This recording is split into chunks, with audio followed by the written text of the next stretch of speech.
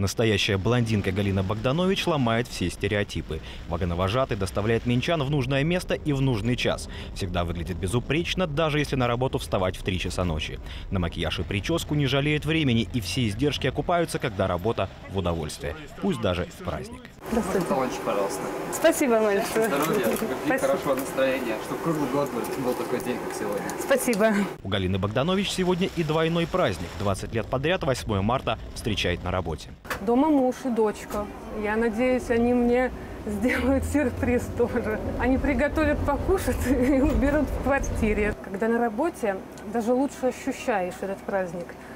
Все кругом с цветами, столько цветов.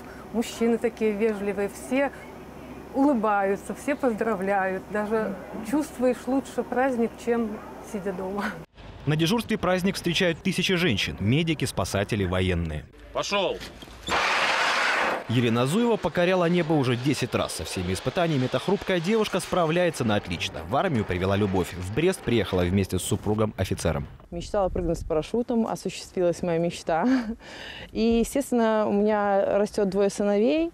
И я считаю, что это яркий пример для них в первую очередь. Я хочу, чтобы они служили в армии. Пока женщины покоряют стихии, им готовят подарки. Еще накануне в магазинах начался ажиотаж. Да и сегодня покупатели все больше мужчины, даже в тех отделах, куда обычно не ступает мужская нога. Брали бытовую технику, парфюмерию и, конечно же, ювелирные украшения. Кольца, броши, цепочки традиционно в тройке самых популярных подарков.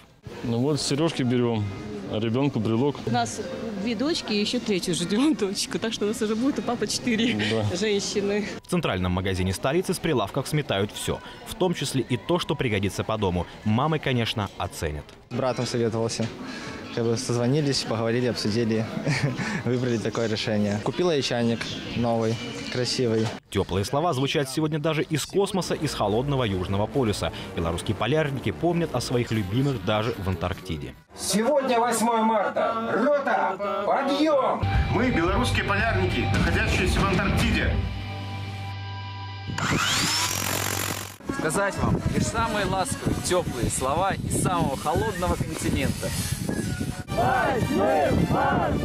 Присоединились к поздравлениям и мужчины-медики. В научно-практическом центре «Мать и дитя» сегодня на свет появились двое малышей – мальчик и девочка. Врач Михаил Булат в профессии несколько десятилетий и уверен, у детей, появившихся на свет в праздник, особая судьба. Хочется пожелать, чтобы э, наши женщины всегда были любимы мужчинами, потому что для женщины очень важно в период ее жизни вынашивание ребенка, рождение, чтобы была поддержка со стороны э, мужей близких.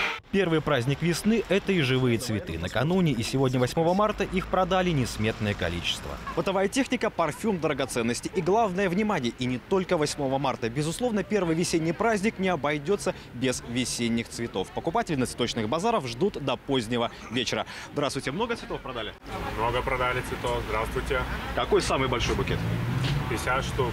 Помимо стационарных точек, власти только в Минске разрешили организовать 200 временных цветочных палаток. Все, чтобы ни одна леди не осталась без внимания. Чтобы у вас в душе всегда была весна, несмотря на снег. Помните, что мы вас любим. Счастья, нежности, внимания. Думайте о хорошем, обязательно все свершится. Алексей Кряквин, Павел Савицкий, Сергей Козлович. Наши новости ОНТ.